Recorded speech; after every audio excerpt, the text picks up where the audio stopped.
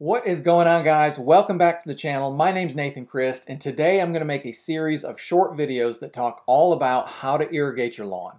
How much water does my grass need? So guys, I'm going to answer this question and then at the end of this, as a bonus, I'm going to show you a way that you can measure the amount of rainfall that you have uh, or the amount of water that you have from an irrigation system or a sprinkler system that you have set up so that you know exactly how much your uh, irrigation system is putting out or you know how much rainfall that you're getting uh, from the environment and how much water you're going to have to supplement. So guys, the short answer is your lawn needs about an inch to an inch and a half of water every 7 to 10 days. So I say an inch of water a week. And that's the amount of water that your lawn is going to need to survive in most situations. Now, if you live in a very arid or very dry climate, you might need a little bit more than that. Uh, and if you live in a very wet or mild climate, you might not have to add quite as much water to that. You might be able to get by with what Mother Nature is providing. Now then, bonus section, how do I actually figure out how much water my lawn is getting? Super, super simple. I've got a product that I use. I highly recommend. Uh, I'll, I'll put a link in the description below, but basically what it is is a bunch of measuring cups, and I've got one right here. And what it does is it measures in centimeters or inches how much water is collected in each one of these cups. So guys, this is super simple to do. Now depending on how big your yard is or how much irrigation you have going on, that might determine you know how many of these cups that you want.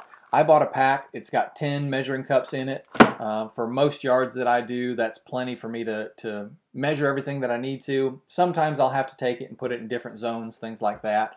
Uh, but typically for a standard homeowner, that's probably going to be enough to determine how much water or how much rainfall you have coming into your yard.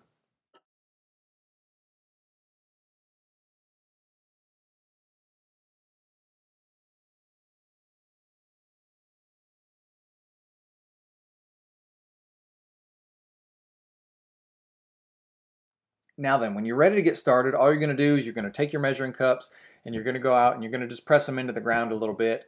Uh, it doesn't matter if they stick up above the grass, but you don't really want the grass above the cups and blocking water from getting into it. So um, yeah, they can be they can be flush with the top of your grass, or if your grass is shorter than these cups, that's perfectly fine.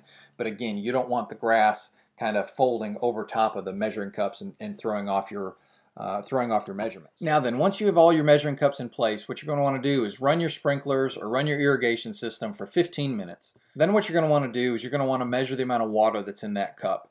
After you've measured that amount of water, just record it down maybe on a notepad or a scrap piece of paper now then, once you've recorded it, what you're going to want to do is move those cups and run that sprinkler system again for another 15 minutes. You're going to want to do this test at least four times. Now after you've got all your sample measurements, take an average and multiply that by four. This will give you the number of inches of water that your sprinkler or irrigation system is putting out per hour. Now that you know how much water your irrigation system is pumping out in an hour, you can better regulate and better set your timers so that you get that an inch to an inch and a half of water a week divided by a two to three day watering schedule. That's the best way to figure out how much water your lawn is getting and how much water your irrigation system is putting out so that you can have a good, thick, lush lawn.